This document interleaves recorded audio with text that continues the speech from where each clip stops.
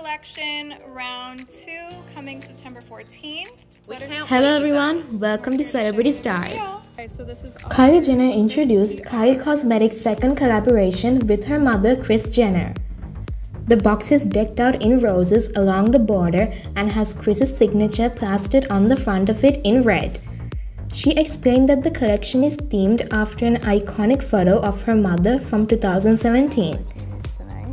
Kylie then lifted the lid off to show just what the collection consists of, as well as how each item is packed neatly. Kylie also shows off inside the box the eye patches, which also boast the green olive pattern.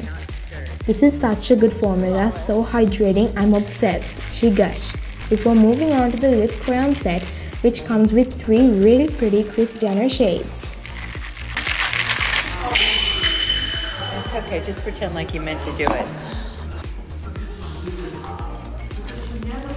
Thanks for watching. Don't forget to like, share, and subscribe for more videos.